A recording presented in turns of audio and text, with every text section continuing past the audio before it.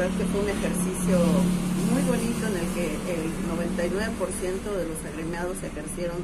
su derecho al voto y eso es algo que tiene que suceder, es una responsabilidad democrática con la que tenemos que cumplir.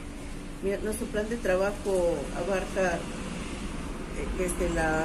posibilidad de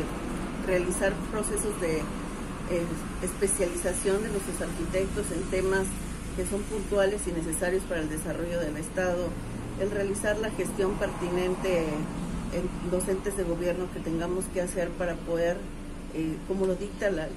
la ley de profesiones, ser un ente consultor para la función pública. Tenemos afortunadamente el día, el mismo día de ayer comenzamos a trabajar con las cámaras empresariales. Una vez terminando la asamblea empezamos a hacer el contacto para empezar a ocuparnos de los asuntos de las cámaras empresariales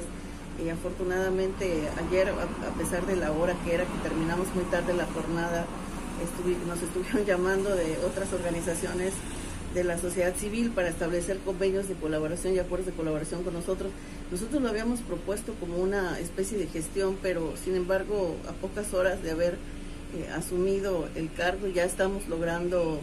establecer ese vínculo con otras organizaciones de la sociedad civil. Eh, tenemos una especial cercanía con la Subsecretaría de Organizaciones a la Sociedad Civil, que ayer también se comunica con nosotros para